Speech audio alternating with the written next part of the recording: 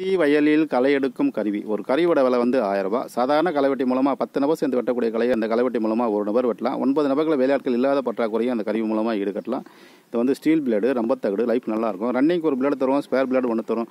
மொத்தம் ரெண்டு பிளேடு தரும். ரெண்டு பிளேடும் தேஞ்சு முடிச்ச பிறகு ஒரு பிளேடோட விலை வந்து நூறுரூவா தமிழ்நாட்டில் எந்த இடத்துக்கு அனுப்பி வைக்கலாம்? நூற்றி முப்பது ரூபா வந்து இரநூறுவா வரையும் டிரான்ஸ்போர்ட் சார்ஜ் வர வாய்ப்பு இருக்குது தேவைப்படுறவங்க கூப்பிடலாம். நன்றி வணக்கம்.